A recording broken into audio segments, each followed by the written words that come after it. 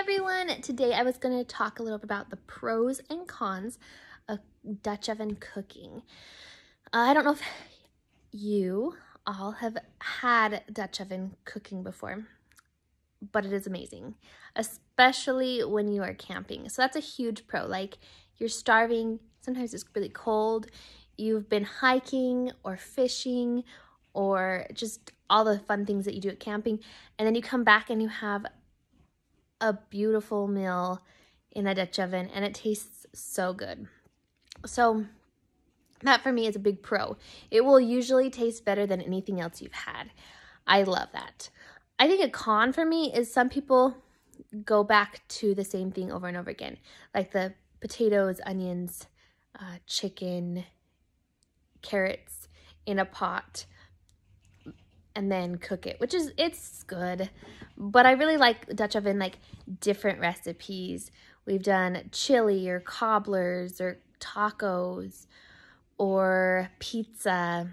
There's so many fun Dutch oven recipes. One of my favorites is Dutch oven enchiladas. It is so good.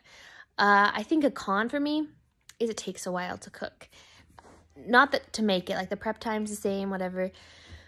But to get the charcoals or the fire, whatever you're using, to warm up enough and then cook the food can sometimes take longer. If you get the right temperature, it can take about the same time. So like there's charts of how many charcoal pieces equal what temperature. And if you rotate the Dutch oven, which you always have to do, uh, the Dutch oven, it'll cook evenly. So and about the same time. So that's always, you have to just learn. There's a lot of learning curves to Dutch oven cooking. Uh, so that's a con, I guess. It could be a pro because you're learning a lot, but a con is that it's a lot of okay meals to eventually really good ones. I think a con as well is the Dutch ovens are heavy. Uh, we bought one and I'm like, oh, it's the worst to like lug around everywhere. Like you wouldn't be able to take that backpacking or anything because it's just massive. Uh, um, so that's a frustrating con.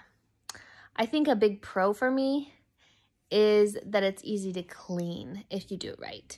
So you just do salt and oil and you like scrub your Dutch oven out. And it's pretty easy as long as you don't bake and burn the sides of it, the food that's why my dad would always use a coffee filter to put on the sides and it was easier to clean up that way. So it's not that much cleanup for me. Like dishes where you have to like wash everything and rinse everything. The Dutch oven just wipe out and you're done.